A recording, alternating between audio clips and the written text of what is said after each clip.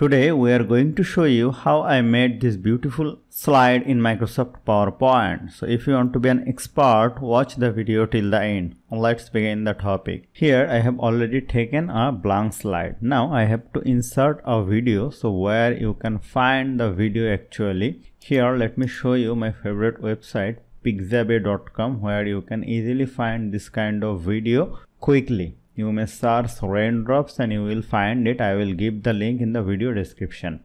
And you can download it from here free and it is totally free.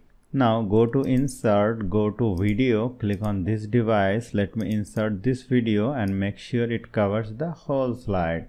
And this is perfect. Go to correction go to video correction option and increase the contrast to 27% and the brightness 21% and this is looking perfect. Now let me zoom out. Now let me go to insert go to shape pick a rectangle shape and drag it over here like this and click on right button go to format shape go to fill go to gradient fill and select this fill color and this is looking good.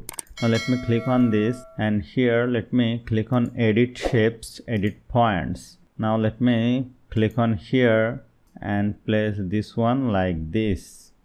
And this is looking perfect. Now again go to insert go to shape pick a text box and right here raindrops select it and change the font make it bold increase the font size. Now let me select the background shape and this text box. Go to format shape go to merge shape click on combine and this is perfect again go to insert go to shape pick a text box and drag it over here and write some demo text. Select it make it justified change the font and change the font color to white color. Now you can add some audio. Go to insert go to audio audio on my pc let me select this audio. Before that i have to check the duration of the video. Let me click on this go to playback go to trim video and here you will see this is 30 seconds. Now let me click on the audio. Go to playback go to trim audio. Let me hear this.